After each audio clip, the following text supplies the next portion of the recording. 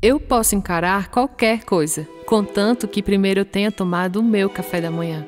Você realmente acredita que Deus é tudo de que você precisa?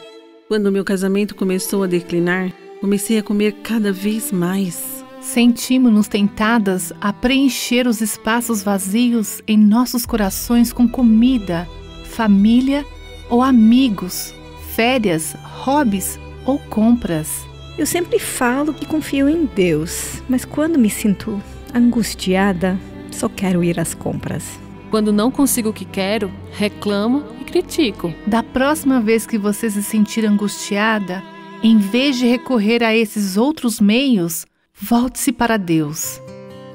No livro de Romanos encontramos essa verdade surpreendente.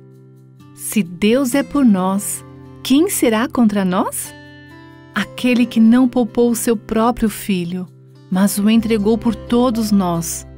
Como não nos dará juntamente com ele e de graça todas as coisas? Você ouviu Buscando a Deus com a Viva Nossos Corações.